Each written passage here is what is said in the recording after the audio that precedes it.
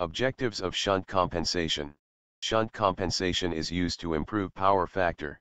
In shunt compensation FACTS are connected in parallel with power system and works like a controllable current source. There are two types of shunt compensation. If the inductive load is connected the lagging load current flows to compensate this shunt capacitor is used. And if the capacitive load is connected the leading load current flows to compensate this shunt inductor is used. If the power system is lightly loaded then fixed or switched shunt reactor is used for maintaining voltage level. And as the power system is heavily loaded then fixed or switched shunt capacitor is used for maintaining voltage level. The objective of using shunt compensator is to increase the transmittable power, increase transient stability, increase system stability, reduce loss.